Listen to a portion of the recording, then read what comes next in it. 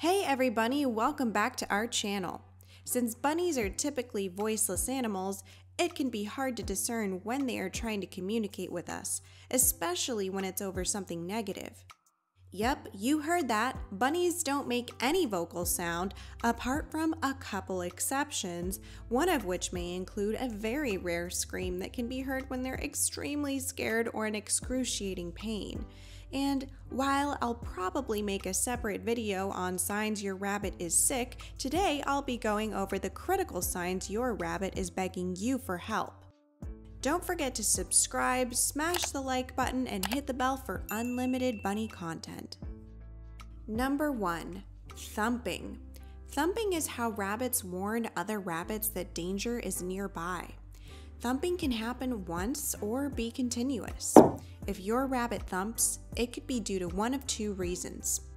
Your rabbit feels threatened by something or is unhappy. You can comfort your rabbit by giving them affection and reassuring them that everything is going to be okay. Number two, rattling or biting the cage bars. This action can be loud and worrisome. As we know, rabbits don't belong in cages or small enclosures, so when a rabbit begins chewing the cage bars, they are absolutely begging you for help. Rabbits need lots of space to run and hop around, which just requires a little bunny proofing around the area.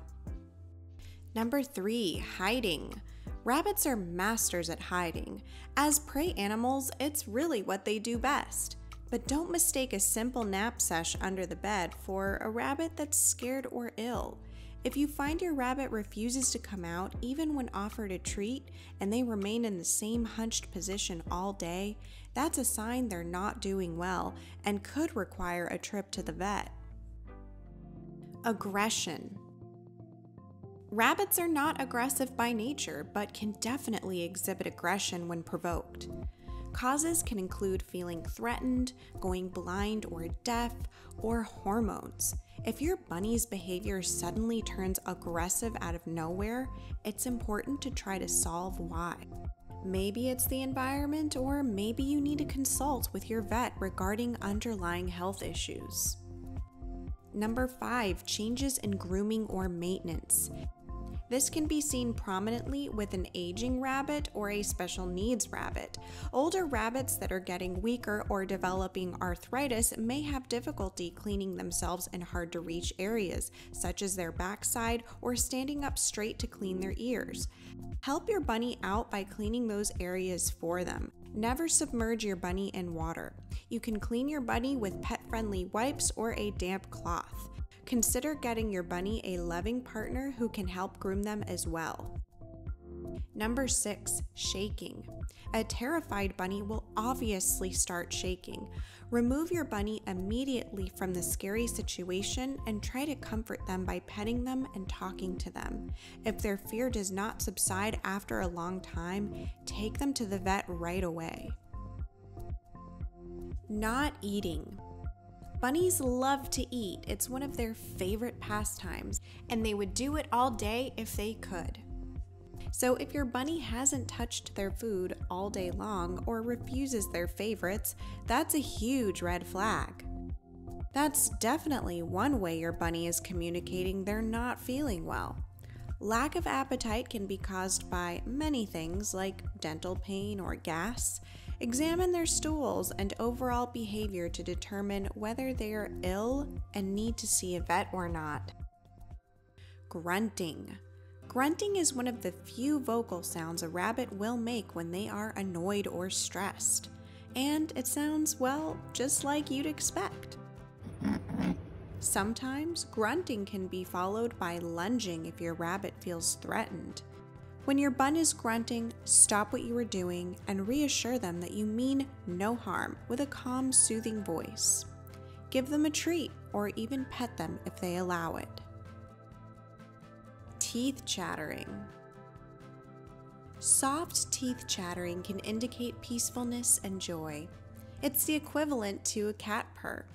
But loud teeth chattering is a sure sign of pain. Pay close attention to this sound and try to examine what could be causing the pain. Help your rabbit out by taking them to the vet as soon as possible. Pupil dilation. Pupil dilation is connected to an increase in adrenaline.